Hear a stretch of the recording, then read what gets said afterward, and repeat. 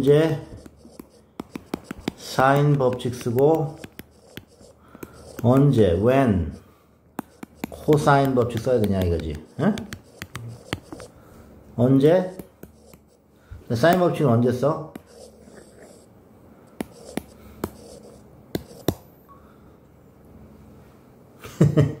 사인 법칙 언제 써? 아싸 합동 또는 side side 이렇게 일때 코사인 언제 써? SSS 응? 이때 코사인 안 이때 SAS 예를 들어서 10cm 60도 45도 이렇게 있으면 뭐 써야 돼? 저 때는 썼네 SAS 아 이게 AS 그럼 이거 10제곱 7 있으면 어떻게 돼? 그렇지. 얘가 코사인이지. SAS 응? SSS 예를 들어서. 두 개 다 되지 않아요? 뭐 그러니까 대략적으로 그렇다는 얘기지.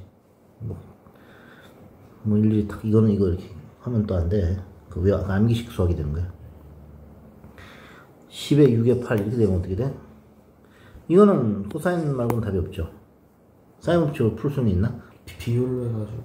어떻게 사인 a분의 10은 사인 b분의 6은 사인 c분의 8 그럼 a 대 그래서 A 그 사인 a 변의 비율이 그 사인 비율이니까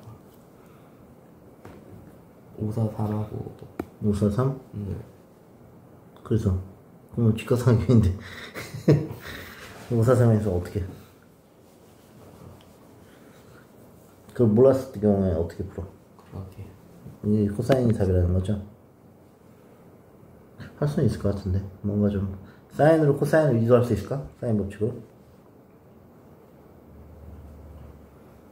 좀 재밌을 것 같은데 어차피 제1 코사인을 써야 될 것 같아 코사인 법칙을 증명하는 게 또 여러 가지 있거든 아?